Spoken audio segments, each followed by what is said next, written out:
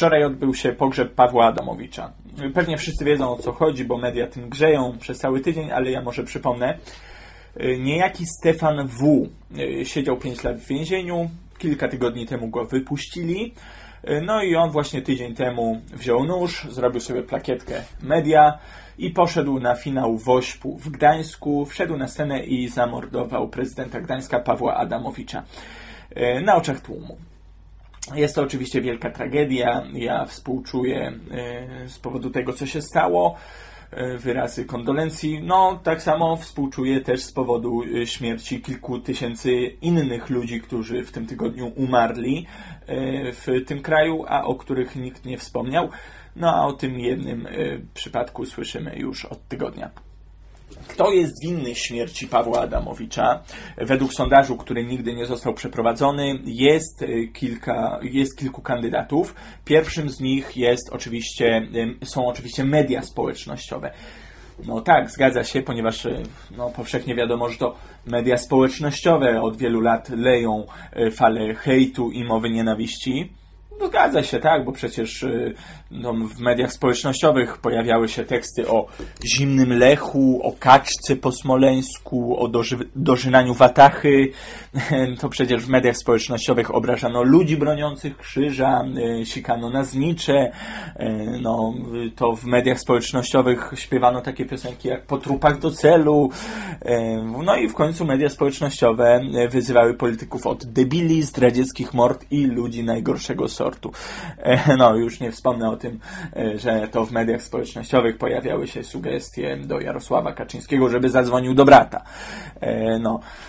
Jak powszechnie wiadomo, media społecznościowe od 30 lat e, regularnie kłamią i robią wodę z mózgu ludziom, pokazując debilne, patologiczne programy typu Straniec z gwiazdami, Wielki Ptak czy Perfekcyjna Kura Domowa. Drugim kandydatem jest PiS oraz TVP, no bo przecież wiadomo, że Stefan W. siedząc w więzieniu przez 5 lat oglądał y, właśnie TVP, tak? I karmił się tą propagandą sukcesu, no i po prostu wzrastała w nim zawiść oraz zazdrość, że ludzie się pławią w luksusie i w dobrobycie, a on biedny siedzi w więzieniu. No i jak go już w końcu wypuścili z tego więzienia, jak się zorientował, że wszystko co widział w TVP to był jeden wielki pis na wodę, to tak się zdenerwował, że wziął nóż i poszedł zabić prezydenta. Y, no jest jeszcze trzeci kandydat, trzecim kandydatem jest Jerzy Owsiak oraz WOŚP. E, tak, no bo wiadomo, że Jerzy Owsiak osobiście nie zapewnił należytej ochrony podczas finału, no bo przecież naiwny Jerzy Owsiak zapomniał, że robi imprezę w Polsce, tak? I tutaj nie wolno zrobić takiej normalnej, otwartej imprezy, żeby ludzie się e, cieszyli, żeby mogli się ze sobą pobawić, tak? E, tylko no, na każdej takiej imprezie musi być oddział antyterrorystyczny, który będzie no, zachowywał między Polakami odpowiedni dystans, tak? Bo przecież taki, e, już pomijam to, że taki prezydent miasta, no to też jest przecież super VIP e, i powinien mieć ochronę 24 godziny na dobę, tak? Zwłaszcza, że jest politykiem, a politycy, jak wiemy, są jedną z najbardziej nielubianych grup społecznych w kraju obok telemarketerów, więc, y, więc no, jeżeli chodzi bez obstawin, no to sam jest sobie winien, tak? Tak jak kobieta w Arabii, która chodzi bez burki. Y, no, niestety y, faktycznego sprawcę, faktycznego mordercę tego Stefana W. no, nikt nie wskazał w sondażu. Co zresztą ma sens, bo przecież już pojawiły się teorie spiskowe, że e, Stefan W. nie działał samodzielnie. E, mówi się, że być może e, właśnie koledzy opozycjoniści poświęcili Stefana W. dla dobra sprawy. Wszak atak Stefana no, był w pełni profesjonalny, tam było kilka precyzyjnych, silnych ciosów, e, tak jakby ktoś miał go szkolić w domyśle. Tak? E, teoria bardzo ładnie wpasowuje się właśnie w ramy spisku. E, Donald Tusk już zapowiedział, że obroni Polskę i Gdańsk i w ogóle Europę przed nienawiścią i przed hejtem. Ja przypomnę, że w przyszłym roku są wybory prezydenckie no i obstawiam, że Donald Tusk będzie kandydował na prezydenta. No tak, do pełni, mm, tak powiem, e, tej teorii spiskowej brakuje jeszcze tylko tego, żeby Stefan W. E, no, popełnił seryjne samobójstwo. to wtedy już będziemy mieli pewność. Natomiast ja oczywiście tutaj za Krzysztofem Woźniakiem z kanału Wideo Prezentację, moim imiennikiem, przypomnę, że teorie spiskowe mają to do siebie, że nawet jak są spójne logicznie, to jeszcze nie znaczy, że są prawdziwe. E, chociaż nie da się ukryć, że no niektórym narodom e, no, wojna polsko-polska jest bardzo na rękę, tak? A po tej tragedii e, działania wojenne no, się dosyć mocno nasiliły. Tak, jedni drugim życzą różnych rzeczy, a to bolesnej biegunki, a to rychłej śmierci, a to kosy pod żebro, tak. Inni każą w tym czasie niektórym osobom wypierać albo zamknąć japy, e, a jeszcze inni nawołują do zemsty i odwetu. Oczywiście wszystko w ramach e, walki z hejtem i mową nienawiści. E, tak, politycy opozycji leją krokodyle łzy, i wygłaszają uroczyste przemowy na cześć zmarłego. Ja tutaj przytoczę kilka cytatów. Jarosław Wałęsa na przykład powiedział to Paweł niech się ze wszystkiego tłumaczy przed sądem. Z walizki pełnej pieniędzy przywiezionej przez dziadka, żonę itp. Tak, ja nie jestem jego adwokatem. Tak, piękne słowa. Y, pani Katarzyna Lubnauer opowiedziała o Adamowiczu, po, powiedziała tak. Jest to polityk skompromitowany. Zgadza się. Lech Wałęsa, były prezydent Polski, też bardzo pięknie powiedział. Dwie kadencje i do domu. Nie, czekaj, czekaj, czekaj, nie, y, przepraszam, to są wypowiedzi jeszcze z czasów, jak żyły, pomyłka. Y, no w każdym razie dzisiaj możemy się dowiedzieć, że y, Paweł Adamowicz był wybitnym mężem stanu, znaczy w sensie Gdańska, że był to super prezydent, tak, obrońca uciśnionych mniejszości i tak dalej, i tak dalej. Dobrze, media od tygodnia grzeją tylko jeden temat. E, w związku z tym można odnieść, że nic innego w kraju się nie dzieje. E, no, jest to oczywiście nieprawda. Dzieje się, Jerzy Owsiak podobno został zaakceptowany przez Komitet Noblowski do pokojowej Nagrody Nobla. No, niektórych e, to bardzo cieszy. E, ja nie wiem, z czego tu się cieszyć, bo już no, w poprzednich latach Jerzy Owsiak był wiele razy nominowany i zgłoszenie takiej nominacji to nie jest żaden problem. Każdego można zgłosić. E, no, w każdym razie ja tutaj nie widzę, nie widzę większych szans na zdobycie tej nagrody, ponieważ, żeby dostać Nobla, Nobla przyznaje się tym, którzy wykonali największą lub najlepszą pracę na rzecz bohaterstwa między narodami, likwidacji bądź ograniczenia stałych armii i udziału oraz promowania kongresów pokojowych. E, no więc, e, no ja jestem w stanie uwierzyć, że tam Owsiak zrobił coś e, istotnego w Polsce, być może nawet coś pozytywnego, natomiast chyba się to nie wpasowuje w szerzenie pokoju na świecie. Ale Dobra, niech mu dadzą. E, ja mu życzę jak najlepiej. Jerzy Owsiak dołączy do takich gigantów walki o pokój na świecie, jak na przykład Barack Obama, który z hukiem walczył o pokój, e, zwłaszcza w Syrii, w Libii czy na Ukrainie, e, jak Unia Europejska, która dostała Nobla pokojowego za ponad 60 lat działalności na rzecz pokoju, mimo że dostając tą nagrodę formalnie dopiero 3 lata istniała. Jak Nelson Mandela, komunista i terrorysta. E, notabene dodam, że obecnie w RPA biali farmerzy są regularnie bici, gwałceni i okradani. E, jeśli ktoś myśli, że w RPA nie ma apartheidu i rasizmu, to się myli, e, tylko po prostu role się odwróciły. Tak, pozdrawiam Walusia. No, że o innych wybitnych y, laureatach pokojowej Nagrody Nobla nie wspomnę. To jest w sumie ciekawe, że nikt w Europie nie zaprasza y, białych uchodźców z RPA. No, ale y, trudno. Kolejny temat. Marcin P. został uniewinniony. Tak, tak, podczas gdy wszyscy byli przejęci no, tragedią, nie oszukujmy się, tragedią, która się stała, to już mówię bez ironii. Y, podczas gdy wszyscy są zaję byli zajęci, no to sąd w Gdańsku y, uniewinnił twórcę Amber Gold y, w sprawie, w której no, media grzały jakiś czas temu. Tutaj nie chodzi o wszystkie zarzuty, które pan Marcin P. miał, a jedynie o zarzuty podatkowe. Tak? Na razie uniewinnili go tylko w sprawie niepłacenia zaliczek na podatek dochodowy. Tutaj przypomnę słowa pani Małgorzaty Wasserman, z, która przesłuchiwała Donalda Tuska na komisji śledczej w sprawie Amber Gold. Pani Małgorzata Wasserman powiedziała, że pan Marcin P.